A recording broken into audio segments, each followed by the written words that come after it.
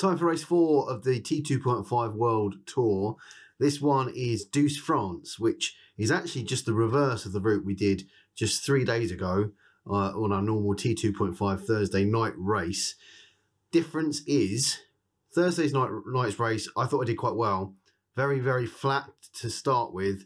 Then you got the little climb over the water, and then it's really lumpy towards the end. I managed to hold on with the group. This time we hit those lumpy hills pretty much straight away before making the climb up over the water and then back to flat. I think this is going to feel very, very different from the race on Thursday night. And I'll probably find it a little bit more difficult because I won't settle into much of a rhythm. And I'm going to have to be quite punchy from the start to keep it within the group. But uh, if I can hold on through the rolly hills, up the KOM bit, and then onto the flats, fingers crossed, that'll put me in a good position towards the finishing line. But let's see how it goes. World Tour race number four, one lap of Douce, France. Relatively flat, but with a little bit of lumpiness in there and a little bit of a climb up to the bridge over the water. This is going to be interesting to edit as I have seven different riders who sent in videos. Uh, we have Pavel, who's in the C Cat, Jonesy, who's recorded this one in the B Cat, along with Noel, who's also in the B Cat. Then we have the usual C Cat riders, Julia,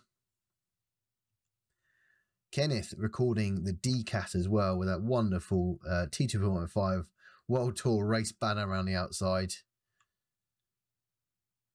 We have John who's doing the A Cat, just the two A Cat riders, John and Eric in this one. And then we have me, who's going to try his best to stay in with this group. As I mentioned before this race, this is the opposite to the course we did on Thursday, where on Thursday it was a flat first, felt a little bit easier to get into the race.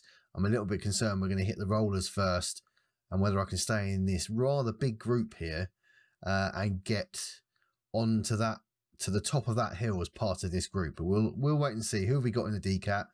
We've got Jay Dreyer, Amott, Latix, Jay Hall. It's moving around. Tim Glasby. Uh, it's moving around too far, fast to see who we've got in there, but lots and lots of riders uh, and sticking together at the moment, not doing too badly.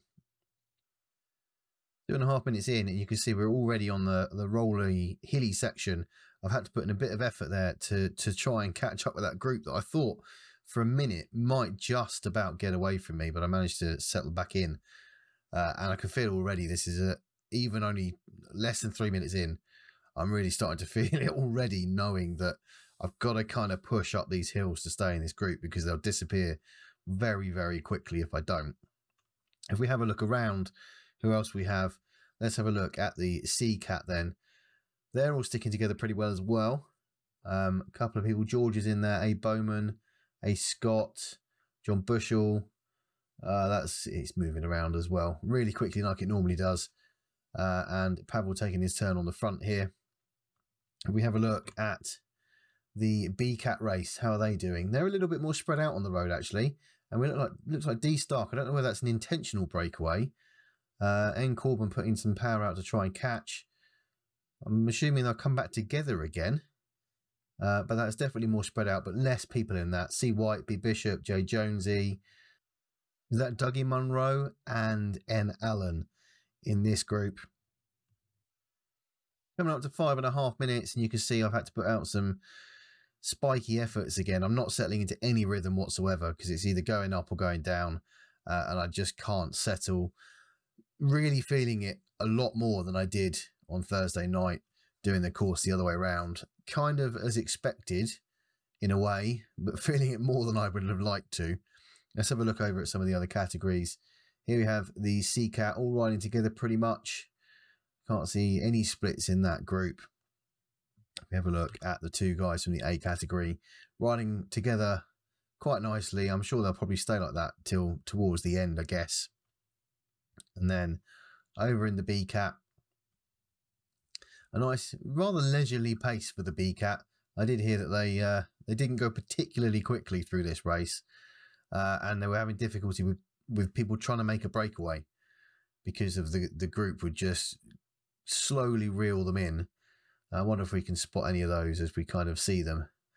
Uh, Chris White off the front slightly here, but no big numbers.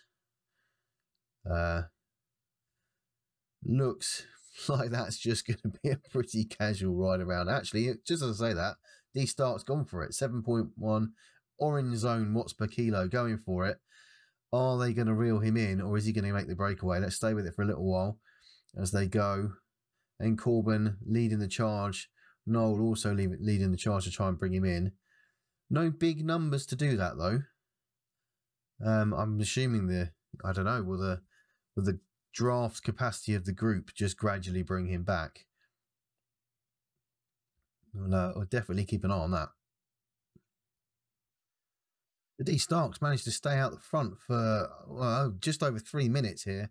Got a seven second lead on the group. It doesn't seem to be increasing that lead. It seems to be staying a pretty steady state, which uh, probably suggests he's putting out a lot of, I see another effort there, 4.2 watts per kilo, trying to keep that gap going.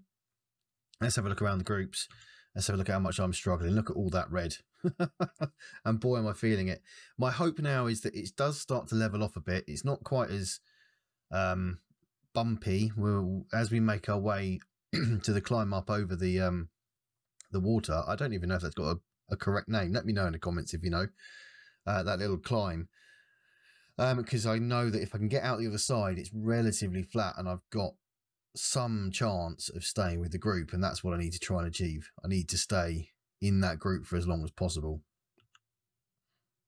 Over at the C Cat, maybe a little bit more strung out. Not really. Kind of all working together still. We've got a couple of seconds back to to Craig and A Scott, I think that is. Um, but I'm sure that gap will close back up again. I think it's just uh, the nature of the rolling hills. And I'm sure the two guys, as they are, yes, in the A Cat, riding together, 7.3 kilometers to uh, gone, 16.7 still to go for those guys. The bees have just got eight kilometers in, and as you can see, they have reeled in D Stark. He's back in the group again now. Awesome effort to try and make that breakaway. Not maybe if someone had gone with you or managed to stay with you, you could possibly have made it stick. I don't know. I'm not an expert on drafting. Definitely not yet. But uh, awesome effort anyway. Let's have a look over at Kenneth, who's in with the, the DCAT group, who pretty much are all still together. I'm uh, sat within that group as well. So, yeah, not a lot happening within the categories in terms of trying to break away. I mean, trying to break away from that big D group and the C group is probably going to be quite difficult uh, as the groups are so big. And in fact, for, for someone like me, it is just hanging on to the group. There's no thought of uh, of trying to push out the front and, and become someone attempting a breakaway. And definitely not in a race like this because you can see all the red bursts that I'm having to put out just to stay in with the group.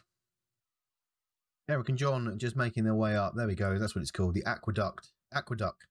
KOM. Uh, both going. I don't know whether either of them will attack at this stage, or whether they're just going to ride together. John putting out the red numbers there for a second. Both putting around five, five watts a kilo coming up to the top. No, neither of them look like they're going to put out a significant burst of effort to to get over. Oh, Eric goes. I completely lied. Just as I say that, Eric goes for it. John's got to keep up some big orange numbers from both of them. Can John catch onto the back of Eric's wheel? And he has. He doesn't. He's not going to push on through though. He's closed that gap back up. Interesting attack there from Eric. Great to watch. Let's see if any of the other guys, where are the uh, the other groups coming? That's the C group. They are at 10.8 kilometers, the same as the B group actually. So C is traveling just as quickly as the B group in this race, and they're both coming up now to this section as well. Is there going to be an attempted breakaway in either of these groups uh, to try and do what Eric tried to do at the top can't see anything major happening here in the B group. Let's have a quick look at the C group. We've got P. McMillan's actually, I've missed that. P. McMillan is nine, ten seconds off the front here. George, three seconds. P. Zizu with the one second. Let's jump across have a look at him, his camera angle. So he's trying to close the gap on George and then P. McMillan. Is that 10 second gap enough already? I missed where that attack came from, but there's certainly a split now in this C category after that climb. Uh, five seconds, I've got uh, M. Gregory, five seconds back, A. Scott, Andy Bullimore. Can't quite see because Pavel's in the way. Is that John Bushell as well? Um, I'm interested to see if that gap comes back down. You know, a little bit of downhill now as a group in the draft, and wonder if they'll come back together. The uh, the DCAT have also just coming up this group. Let's have a look at my pain. I'm doing my best, but as you can see, I've lost the back of this group here. Putting out red zone as, as I can, a bit of a sprint at the top, and right now I'm thinking I need to catch the back of that group because if they hit that downhill without me, I've got no hope. My heart rate's up at 179. I don't have a lot more to push. And I can slowly see them disappearing and they're about to turn left just now. And I'm really hoping that I can catch that gap. But it's feeling feeling at this point pretty inevitable that I've lost the group. Uh, and I don't have a lot more to push. I don't have a lot more to give. I can still feel the race from Thursday in my legs.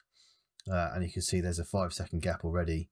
And it doesn't, I'll be honest, it doesn't come down uh, as much as I try and want to. It doesn't come down. So, uh, yeah, that is how I lost the back of the group in this race. Over at the CCAT, uh, the B Cat, apologies. We've got N. Allen, who's unfortunately dropped off the back by 22 seconds, but the rest of the group are back together. Nothing, nothing came of any attacks on that hill, uh, and we'll just jump back over to these two, Eric and John. Is Eric making gradual attacks here? Because John's dropped. Uh, message just come up saying I'm done. Great effort, John, coming back from the illness uh, and some other things as well. So awesome effort to try and stay with Eric. I know Eric is is not easy to stay with, as most of the T245 group are aware. I've managed to find myself into in a little group here of four myself, Rob, A. Evans, and Kenneth, but I'm not feeling good. I'm on the verge of being sick here. It came on really suddenly as well. I did not feel good at all, and I ended up having to back off a little bit. You can see the split. There's 15 seconds now between us and the group that went out in front that we kind of lost on that climb. A. Hugavine, El Warrior, DC Marks, Tim Glasby. Those guys kind of disappear on up the road, as you can see. The three of those guys disappear up the road ahead of me. I'd normally look behind me now and try and think who can I stay ahead of, but I really did not feel good. I had to uh, kind of back it off a little bit. There's uh, Kenneth riding with those three guys. I think the the chance of catching that group in front is probably gone. There's a bigger group of, of riders all drafting together.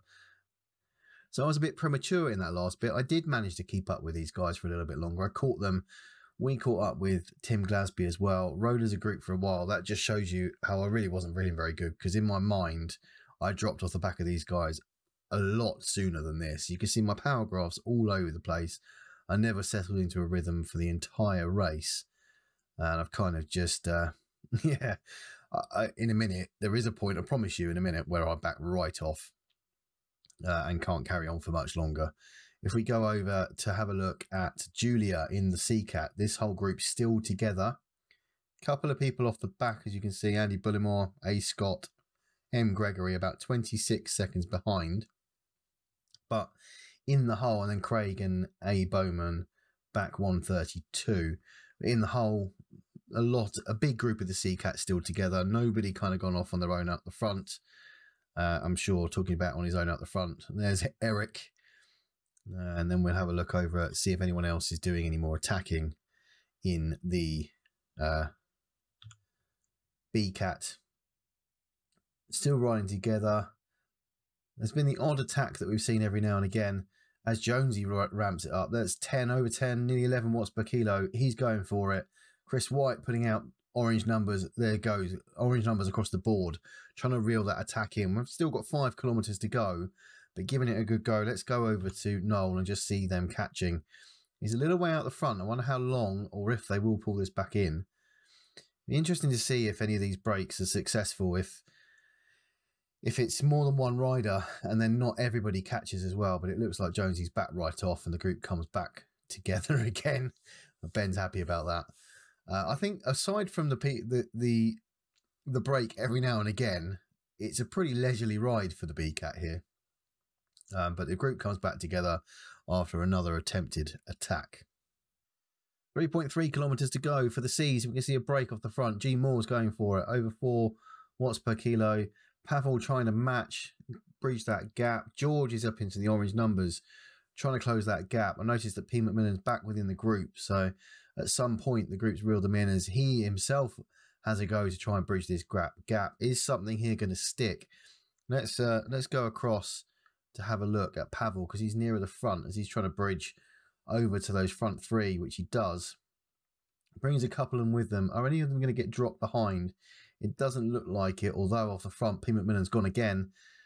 P. Williams leading the charge to catch P. McMillan, six over seven watts per kilo there, really going out the front. Is this the point that's going to get him a gap in the final 2.7 kilometers to win the CCAT? Pavel giving it a good go, and George having a go now as well to try and bring that gap down. George is over five watts per kilo, flying off out the front. Will the group in its draft catch those guys or not? Just jumped over to the bees because I've seen an attack here as well. Noel and D Stark going for it. They're in the orange numbers. Can they make it stick? N Corbin also in the orange numbers just behind. Will they make that stick? or will the group bring them back in? Let's go further back into that group, just see if that gap closes, and it looks like it does quite quickly. Although now still off the front slightly. Let's see, it looks like it's going to calm back down and the group's going to get back together again. Let's go over to this CCAT and see if that group still got someone off the front. I can't tell from this angle who it is. Uh, John's on the front of this little group here. There is someone off the front a few seconds ahead of the, the rest of the group, I'd say. Let's have a look at the DCAT. These guys sitting in with a, a minute lead the, from the main group out the front. I've got a minute gap over these guys. Uh, and then we'll probably jump over and watch Eric, who's coming towards the line, who's clearly going to win the ACAT race. I'm going to do the final part of the race category by category because it's far too difficult to work out what's going on in the other races as well. So this is the CCAT. We've got P. McMillan, who's the person off the front, three seconds ahead of Pavel. John just behind, two seconds back. And then the group, the majority of the group of C's are still together uh, as Julia is sat within that group as well. Let's stay with Pavel because we'll be able to see who goes first in and around the group. Can anyone catch P. McMillan out the front? John giving it a go up over five watts per kilo. They look like they're kind of matching each other for power at the moment. The gap's not coming down as Jay Lee puts out a little bit of a burst as well to get some speed up, trying to catch the two guys at the front. He's going for it. S West as well. He's up into the orange numbers, over 10 watts per kilo. Into the final 200 meters here. A couple of the guys coming past. There's S West. Can they catch P. McMillan they are going to catch P. McMillan when early can't quite take it to the line. S. West, I think, is going to win this one with Jay Lee just behind Pavel in third. And then head over to Julia. P. McMillan and Julia over the line too. I just want to watch that sprint from Julia's point of view as well. You can see S. West going off the front here uh, with some of the other guys putting G Moore putting out some high numbers as well. Julia sat quite away to the back of the group, but we know what incredible sprint power Julia has into the final 300 meters, and she's still yet to really go for it. You see S West big numbers now, and now Julia ramps it up 9.2, 10.5 watts per kilo, and look how quickly she powers through that group. And she's got John Bushell just in front of her, who he, she finishes in front of. That is incredible sprinting, not quite enough to catch further out on the front. Absolutely amazing. Final 900 metres for the Bees then. We've had a couple of attempted breakaways on this one as D Starks come from back to front here. Pushing out the front. Noel's also putting out over 7 watts per kilo to try and keep up with him. Uh, let's jump over to Noel. Just see if we can see a different angle. D Stark's gone for it. We're into the final 700 metres. Uh, and he's kind of backed off slightly now. This is going to be a sprint to the line, I think. Unless anyone else is going to come through. Noel slightly off the front. He is putting out higher watts 8.8. Jonesy behind with big numbers there with 7.4 as well. Is that just an attempt to keep up with his group, maybe? Let's jump forward, have a quick look at Noel Slevin. Oh, here we go. N Corbin's gone for it. Huge numbers, 12.4 watts per kilo. Ben Bishop trying to put out the power to keep up. Who within that group is going to catch?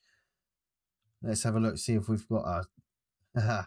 Jonesy's looking at the riders in front. So N Corbin is going to possibly take it here. Can Ben catch him?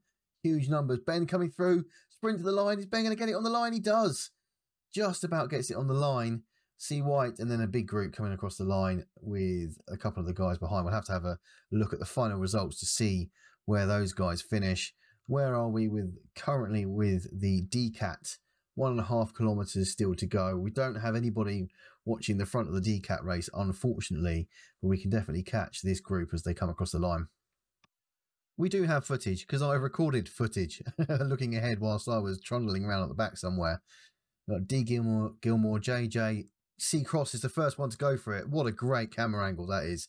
DC also going for over 10 watts per kilo behind as well, pushing out to try and catch C Cross on the line. Who's going to get there first? A Hugavine, who won the race on Thursday night, also into the orange numbers. D Gilmore, have some of those gone a bit earlier. JJ's going for it as well. I can't tell. Just around this corner is the line. I think it's going to be won possibly by DC.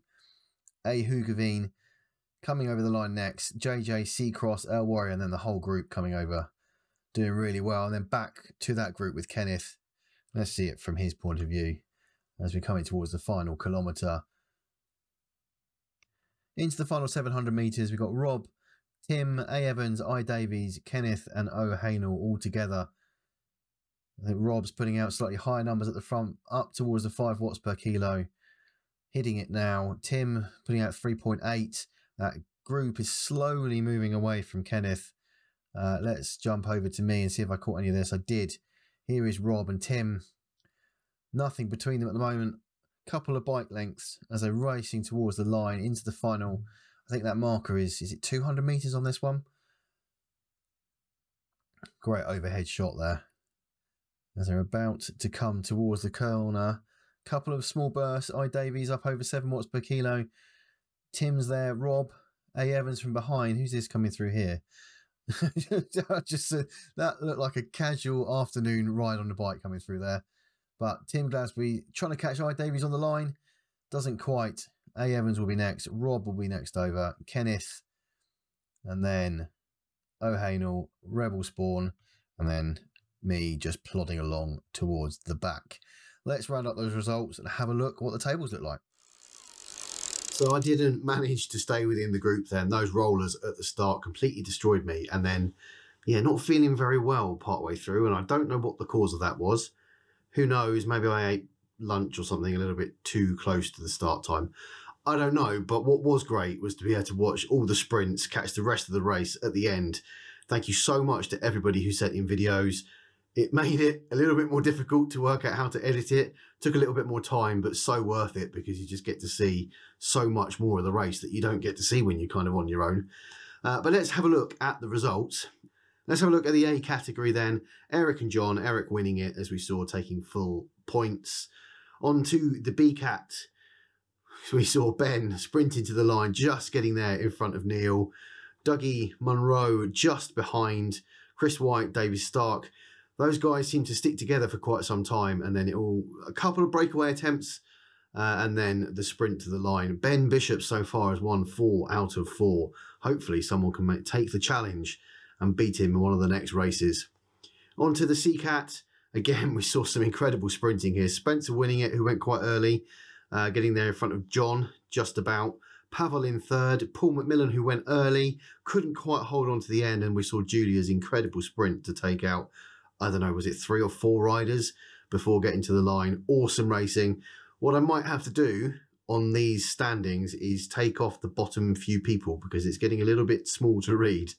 Uh, but we've had a few ever presents so far in there. Paul, Pavel, George, Julia, and John have all done all four races. As I've said in the previous uh, videos, obviously until we get to eight races completed, uh, it's gonna the standings are gonna look pretty weird, and then they'll start to sort themselves out as we go along a bit further because it's the eight best results that count. Let's have a look at the DCAT. Damien C winning it uh, just about ahead of A. Hugavine, JJ, Latix. Again, we saw some brilliant sprints into the line across those guys as well. Uh, and some of the guys there, we've got Latix, Andrew Evans, Neil Brandon, Ben uh, Ben Jenkinson have all done four out of the four races. Next up, next up we have a slightly more challenging route. This one will be for, we, be for one and a half times the points. We'll be heading to Watopia for our probably not our hilliest race, but the second hilliest race. We're going to be doing the mountain route, the epic KOM, 30 kilometers, 683 meters of climbing. And as I said, for that one, you get one and a half times the normal points. So I'm looking forward to that one. I say that, am I looking forward to that? It's a climb. That's not going to be a race for me. That is just going to be a ride to get to the top and see if I can finish somewhere within somewhere within the group maybe possibly i guess we'll have to wait and see there will be no drafting and my weight is a big disadvantage up a hill but uh, still looking forward to it that's on the 20th sunday the 20th of november at 10 o'clock uk time so still if you haven't joined one of the other races already still plenty of time We've got 10 races left top eight counts. So there's still plenty of time to get in and get some points and get on that leaderboard uh, before it all starts to shift around a bit when everybody's done eight races. But uh, shame I couldn't do very well. I don't know whether I still had the race from Thursday in my legs because I pushed quite hard then, or whether it was just it was the reverse route that completely knocked it out of me. I don't know. But fingers crossed I can do all right in the next one. Thank you, as usual, to all of the channel members. Names coming up the screen now. Your support is amazing. Uh, but that is the end of this video. If you have enjoyed it, do hit like and subscribe. And I'll see you on the next one.